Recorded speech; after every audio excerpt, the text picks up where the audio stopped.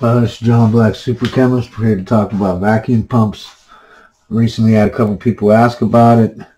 I used it in a couple videos here recently. So let's first of all go over what air pressure is or whatever. Um, all units should never be used except for these three units. Millimeter of mercury, torr, or micron keep in mind they're all exactly the same thing. If you have one torr, you have one micron. You have 10 torr, you have 10 millimeters of mercury. These are preferred to me because I don't have to say millimeter of mercury. I could just say micron, torr. It's easy. Uh, so an atmosphere is 760. So if I use, you know, sometimes I use torr, sometimes I use micron. So just so you know what I'm talking about. But they all mean this. So 760 microns is one atmosphere. Now I want you to keep in mind when you, you know, when you're doing a vacuum distillation, there's only one thing that's a cause of a new boiling point when you change the pressure. And that's how much you change the pressure and what the original boiling point was. Meaning if I, like right here, 500 torr, water boils at 85.5 Celsius. Well, that means for any liquid at atmospheric pressure that boils at 100, will at, at that same pressure will boil at 85.5, no matter what it is. Doesn't matter. There's only one thing that matters. What was it, its original boiling point? It was 100. And what's the new pressure? 500. So, boom. It's that, it's that new boiling point, 85.5. No other properties matter when it comes to changing the boiling point of a, of a solvent by pressure change.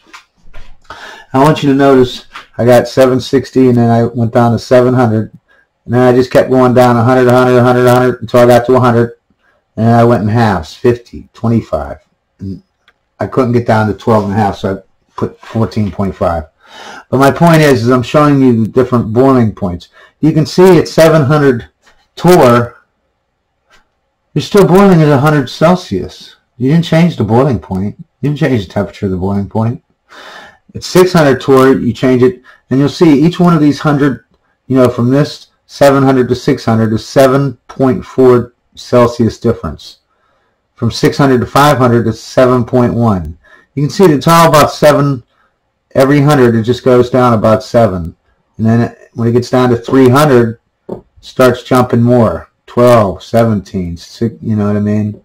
Um, but my whole point is, is even at 300 torr or 300 millimeters of mercury, right, like halfway through your vacuum, you only lowered the boiling point by about 30, 31.8 degrees. So, I mean, from your original 100 if we're talking about water. Uh, you really need to get down to the low 50 microns or lower if you want to do high, you know, things that have boiling points of, of 280, you know what I mean? Because at that point, say at 25 torr, you've lowered it nine more than 90 degrees from 100 down to 9.3. So that goes for anything. I mean, that means if it was 200 degrees Celsius was the boiling point, it still lowered that same amount at 25 torr. It still comes down uh, about 90 degrees. You know what I mean? So if you have a 280 degree boiling point and you have a, you know, 500 degree torr uh, vacuum, whoop-de-doo, your 280 degree boiling point just lowered 15 degrees, whoop-de-doo. What's, what's the point in even doing that? It's still just like 260 or, you know, 200 or whatever degrees. It's still a high temperature. You need the low, you know, the lower microns to do high boiling point vacuum distillations. So anyways, let's go over a couple couple vacuums that you can buy. And here's the cheapest one. These are all at Harbor Freight, okay? Uh, and you can anywhere they have air conditioning stuff for air conditioning fixer people, you know, because that's what this is for. Or automotive. It's for automotive air conditioners. Um, but there's a one there that's $18. You might say, wow, that's cheap. I want to get that. But it says that it's advertised at 28.3 inches of mercury. So of course we have to translate it into normal people uh, units. Uh, that equals 719 torr. And as you can see, it doesn't even change the boiling point of water. Like it doesn't change the boiling point of anything. Uh, it would be good as a degasser, okay? Uh, because I made this right here. You might say, well, what the heck is that? Well, basically, it's just a canister, and I put a, because I had this idea a long time ago about putting a fish, you know, they have fish pumps for fish tanks, you know what I mean, to pump the air through the water so they have oxygen in the water to breathe. And I couldn't figure out because I, I can't get the fish pump out of there. But, oh, maybe I can. I got the lid here. You can see it has a, you can see it has a uh, pipe sticking out of it on the one side. I really can't bring it out of the thing because it's glued in there. But there's a pipe that uh, sticks out so you can put a hose onto that pipe, right? And then the hose can go and lead into your water, right? And that pushes the whatever in. But on the other side that sucks in the air, it's going to push it into the tank. There's nothing to grasp onto. There's nothing to put a hose onto or anything like that. So I always wondered how can I use this fish tank pump to make a vacuum pump. And I can't remember who it was. I wish I could remember. Uh, but they said uh, put it in a canister like this and then have your tube connected that blows the air into the tank, right? And then have this hose is just going into the box. Now when I put the lid on, right, and I hook this up to my apparatus, this, this hose here, right, the pump will turn on and it'll suck air from this hose down into the canister because this is just connected to the canister. It's not connected to the pump. And then it just sucks, you know, the pump sucks air and blows it out this thing. It's got to go somewhere, so it comes from here. You know what I mean? It comes to your apparatus. And it, here, let me plug it in. I want you to see because it'll actually cave in the in the box. Oh, it's not really caving it in. Oh, there it goes. Uh, you can see it. You can hear it though. It's starting to crush in the sides. It works though. It'll just crush it in a little bit and just, you know, that'll be it. Uh, and if, you, if I would have used a better container, this is just a little plastic one, so it doesn't, you know, it wouldn't do that. But anyway, oh, you see it, see it expand? So anyways, it's a nice little whatever uh, you know, little experiment or whatever to have. That's why I did it. That sounded cool. Um, but that's not going to change the, you know, the boiling point of anything. You know what I mean? That's not going to change the boiling point of anything. But you can use it to degas stuff. Let's say you're making something and you got you're making ammonia as a byproduct and it's going to screw up your reaction, so you want to get it out. Or like when making methylamine, you want to get the CO2 out, you know, just degas that because it interferes with stuff. Yeah, that's great for that, you know. But you can get the same thing, uh, like I said right here, for $18 at uh, Harbor Freight, and it's a vacuum pump that'll do that for you, and you won't even have to build it or whatever. Um, but it was an interesting project. Anyways, here's, and this is the one I had. This is the best one. It's $150 at Lowe's, or at uh, Harbor Freight, 22.5 torr. That means the boiling point of water will be 7.3 degrees Celsius. So you couldn't even really have your pump on full and, and distill water because it would just boil so quickly you wouldn't be able to do it. But they have a cheaper one for $90. It's 75 torr. So the boiling point of water would be 32.4 C, and room temperature is between 20 and 25 C. So you'd have to heat it up a little bit so it wouldn't, you know what I mean? You wouldn't have to worry about turning on your pump and all the water just bumps out of your, you know, out of your reaction flask. Uh, so now that we've gone over that, let's go over some of the pumps.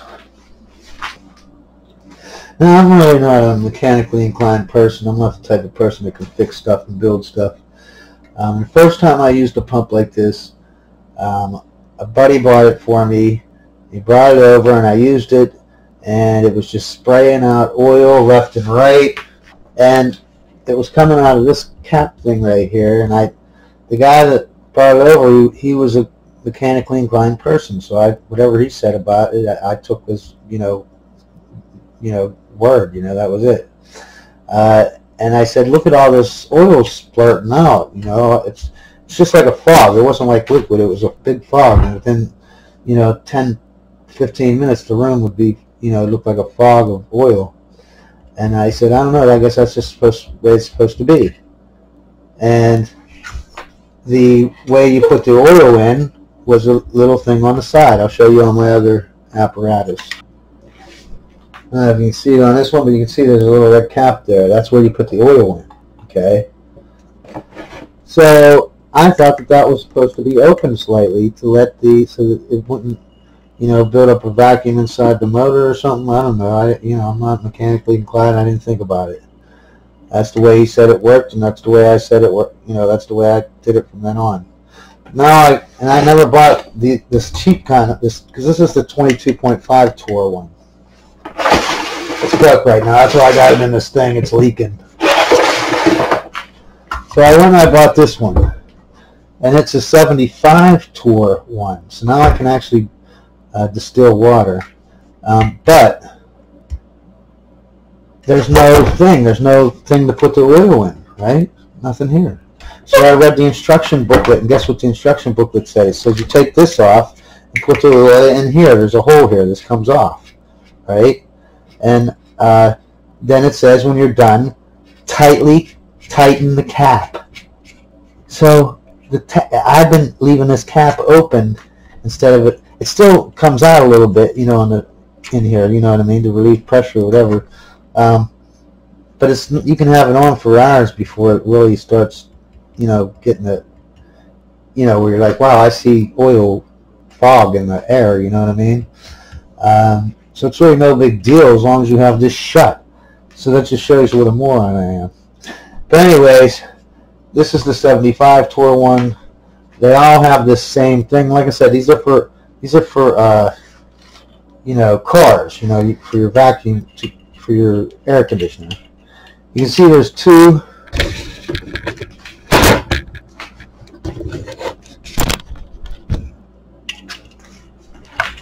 There's two screw thingies here, one going up and one coming out towards the camera. They're two different sizes.